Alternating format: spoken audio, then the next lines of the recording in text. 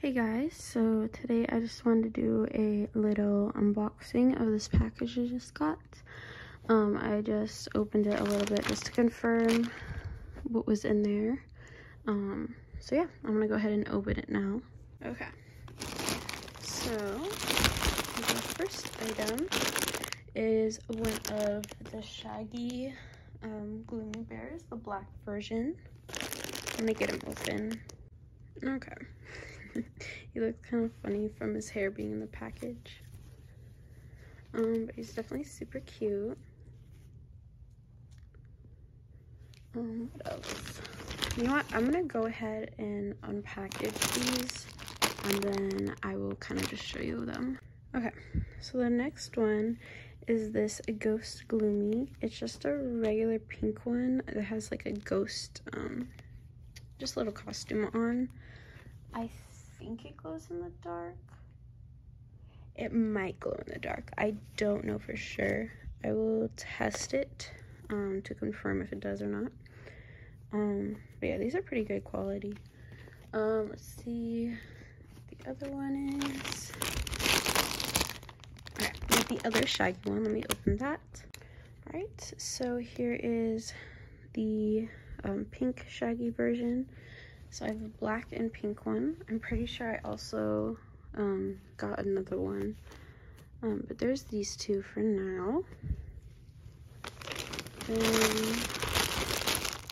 oh, we have the jail one. So in the description, it's called like Convict Gloomy, which I think is kind of funny. Um, but yeah, just him in a jail outfit. I think it's funny there's a whole weight as well. The chain.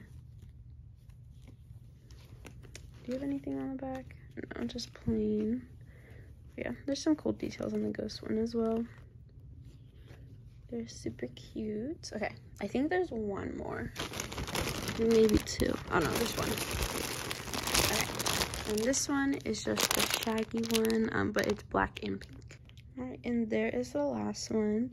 I like the more of the pastel looking pink um, on the claws, and there's the blood like alternating. I think that's cool.